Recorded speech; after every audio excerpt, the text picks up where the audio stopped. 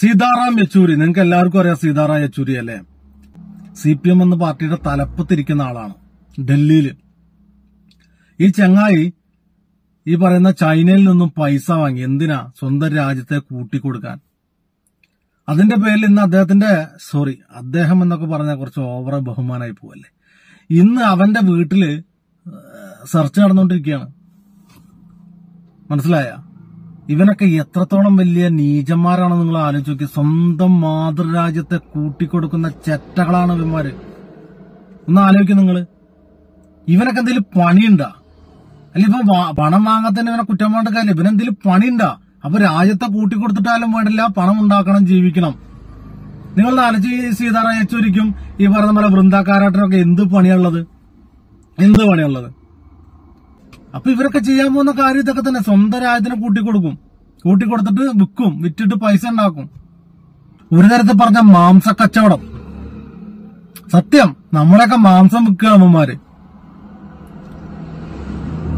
ഒന്ന് ആലോചിച്ച് നോക്കിയ നിങ്ങൾ. കരുവന്നൊരു ബാങ്ക് അതിന്റെ നിങ്ങൾക്ക് ഒരു ഉദാഹരണം പറയും.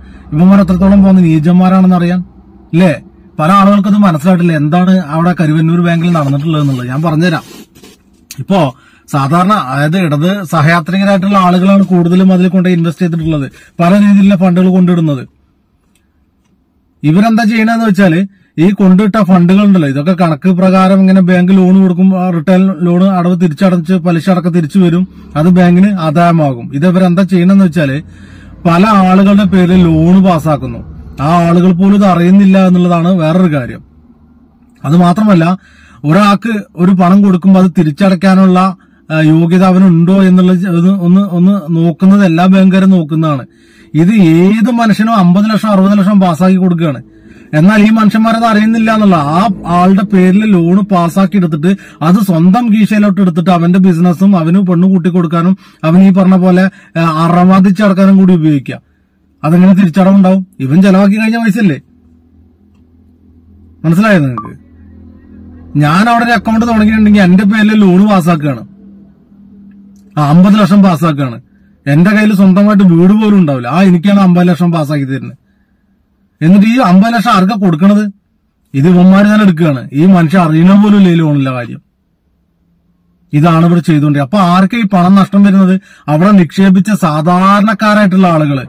ഈ പശുവിനെ നോക്കിയും ഈ പറഞ്ഞ പോലെ തൊഴിലുറപ്പിന് പോയിട്ടും അങ്ങനെ ഇങ്ങനെയൊക്കെ ചെയ്യുന്ന ആളുകൾ കുറച്ച് കുറച്ച് പൈസ കൂട്ടിവെക്കണം ഈ പണം എടുത്തിട്ടാണ് ഈ നാറികൾ ചെലവാക്കുന്നത്.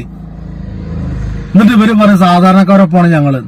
ഇതുകൊണ്ടാണ് കേന്ദ്ര ഗവൺമെന്റ് പറഞ്ഞത് ഈ ബാങ്കിന് ഓഡിറ്റിംഗ് വരണം. അത് എല്ലാ ബാങ്കുകളും ഗവൺമെന്റ് ഉത്തരവാദിത്തത്തോട് കൂടി ഓഡിറ്റിംഗ് വേണമെന്ന് പറയുന്നത് അന്നേരം ഇവർ പറഞ്ഞു ഇത് ഈ പറയുന്ന സഹകരണ പ്രസ്ഥാനത്തെ തകർക്കാൻ വേണ്ടി ചെയ്യാന്നുള്ളത് തകർക്കാനല്ല. ഇത് നശിപ്പിക്കാനല്ല. അവിടെ അവിടെ ഇൻവെസ്റ്റ് ചെയ്തിട്ടുള്ള ഓരോ പൗരന്റെയും പണത്തിന് ഗ്യാരണ്ടി നിൽക്കുകയായിരുന്നു സർക്കാർ ചെയ്തത് അല്ലേ? അതുകൊണ്ടാണല്ലോ അതൊക്കെ പുറത്തു വരാൻ തുടങ്ങിയത്. ഇല്ലെങ്കിൽ ഇവർ ആരെങ്കിലും അറിയോ? മരിച്ചു പോകുമ്പോ ഇവർ പറയും ഈ പറഞ്ഞ വ്യക്തിയുടെ പേര് ലോൺ ഉണ്ടായിട്ട് ആ ലോൺ എടുത്ത ആൾ മരിച്ചു പോകണം അയാൾ അറിയണില്ല ലോൺ എടുത്ത കാര്യം. മരിച്ചു പോകുമ്പോ സ്വന്തം മക്കളോട് പോയിട്ട് ബാങ്കുകാർ പറയണ എന്താണെന്നറിയോ? നിങ്ങളുടെ അച്ഛൻ അമ്പത് ലക്ഷം റുപ്യ വായ്പ എടുത്തിരുന്നു മനസ്സിലായോ? മക്കൾ മേപ്പോട്ട് നോക്കും. എങ്ങനെ എടുത്തു? എന്റെ അച്ഛൻ അമ്പത് ലക്ഷം എന്തിനെടുത്തു? എന്റെ അച്ഛന് വേറെ വല്ല ഫാമിലി ഉണ്ടോ? ഇനി അച്ഛൻ അങ്ങനെ വല്ല വഴിക്ക് ചെലവാക്കിയോ? ഇവർക്ക് അറിയണില്ല. ഈ അച്ഛന്റെ പേര് ലോണും ഉണ്ട്. ഒന്ന് ആലോചിച്ച് നോക്ക് നിങ്ങൾ. പലപ്പോഴും ഞാൻ കേട്ടിട്ടുണ്ട് ഈ വിഷയം. അറിയാതെ അച്ഛനും അച്ഛൻ മരിച്ചതിന് ശേഷം ബാങ്കുകാർ വന്നിട്ട് ലോണ് അച്ഛന് ലോൺ ഉണ്ടായിരുന്നു എന്ന് പറഞ്ഞ പരിപാടി. അത് ഇതൊക്കെ ആയിരിക്കും ചിലപ്പോ. ഇവന്മാരൊക്കെ വളർത്താൻ പാടില്ലട്ടോ ഞാൻ പറയാ ഇവർ ഈ ആർ എസ് എസിന്റെയും ബി ജെ പിയുടെയും ഹിന്ദുത്വത്തിന്റെയും പേര് പറഞ്ഞുകൊണ്ട് അങ്ങനെ ഒരു ഭീതി പരത്തിക്കൊണ്ട് അതിന്റെ ഇടയിലൂടെ ഇവർ ചെയ്യണ തമ്മാടിത്തരം നിങ്ങൾക്ക് ചിന്തിക്കാൻ പോലും പറ്റാത്തതിന്റെ അപ്പുറമാണ്.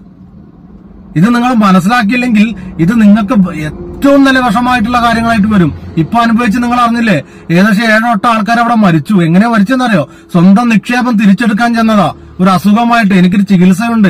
എനിക്ക് ആ ചികിത്സയ്ക്ക് പണം വേണമെന്ന് പറഞ്ഞിട്ട് ഈ പാവങ്ങൾ പോയിട്ട് പണം ആവശ്യപ്പെട്ടപ്പോ പണം കൊടുത്തില്ല. പണം ഇല്ല അവരടുത്ത് കൊടുക്കാൻ.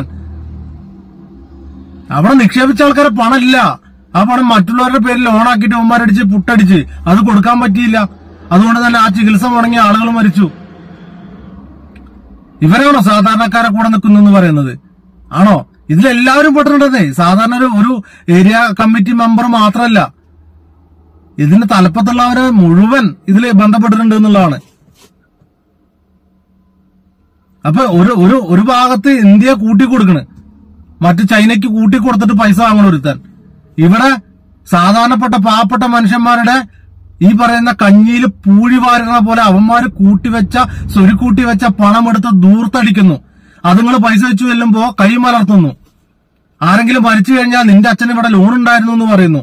ഈ ലോൺ എടുത്തതും നക്കിയതും തിന്നതും ഈ പഴച്ചന്മാരാണ് ആ പാവങ്ങളല്ല. ഇതൊക്കെ എന്താ വെള്ളരിക്കപ്പെടണോ? ഇതൊക്കെ ചോദ്യം ചെയ്യേണ്ടതല്ലേ? ഇത് ചോദ്യം ചെയ്തല്ലേ പറ്റൂ? അതിനല്ലേ കേന്ദ്ര സർക്കാർ പറഞ്ഞത്? ഈ ഓഡിറ്റിംഗ് നിങ്ങളെ പാർട്ടിയല്ല നടത്തേണ്ടത്. ഇത് റിസർവ് ബാങ്കിന്റെ കീഴിൽ കൊണ്ടുവരണം. പറഞ്ഞില്ലേ?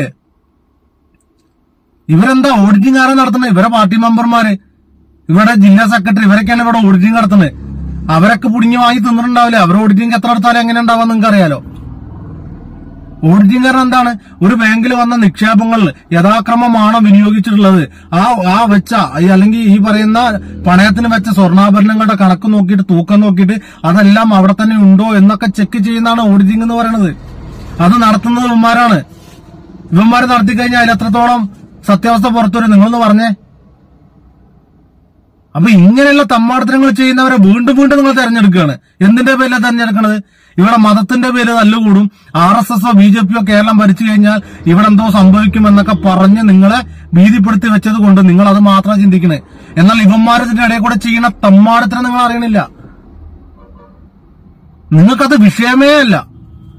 നിങ്ങളെങ്ങനെ കോത്താമ്പി വരുന്നുണ്ട് കോത്താമ്പി വരുന്നുണ്ട് എന്ന് പറഞ്ഞ് പേടിപ്പിച്ച് നിർത്തിയിരിക്കുകയാണ്. യഥാർത്ഥത്തിൽ കോത്താമ്പി എന്ന് പറയുന്ന സാധനം അത് അവർക്കാണ്. ഇവിടെ ബി ജെ പി ഭരിച്ചു കഴിഞ്ഞാൽ ഏറ്റവും കൂടുതൽ പ്രശ്നം വരുന്നത് സി പി എമ്മിനാ. കാരണം അവർ ഇത്രയും കാലം ചെയ്ത തമ്മാടത്തരങ്ങൾ ഓരോന്ന് ഓരോന്ന് ഓരോന്നായി പുറത്തോട്ട് വരും. നിങ്ങളെ ചതിച്ച കണക്കുകൾ ഓരോന്ന് ഓരോന്നോരായി കാട്ടിത്തരും. അപ്പൊ ആർക്കാ കോത്താമ്പിയായിട്ട് വരുന്ന ബി ജെ പി? ഈ പറഞ്ഞ സി പി എമ്മിന്. അല്ലാതെ അവിടുത്തെ സാധാരണ ജനങ്ങൾക്കല്ല.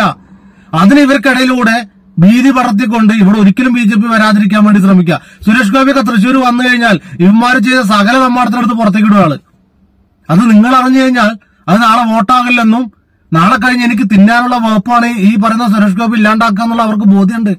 അതുകൊണ്ട് വളരെ ഊർജത്തോടു കൂടി ഇനിയും വിഷം കുത്തിത്തരും നിങ്ങൾക്കുള്ളിൽ. എന്നിട്ട് കൊണ്ടുപോയി കുത്തി കൊടുക്കുക സി പി എമ്മിന് കേട്ടാ? നിങ്ങളുടെ അവസാനത്താണ് നിങ്ങളുടെ നെഞ്ചത്ത് തന്നെ അടിച്ചു കൊടുക്ക്. കേട്ടില്ലേ? കൂടുതലൊന്നും പറയാനില്ല. ശരിയെന്നാ.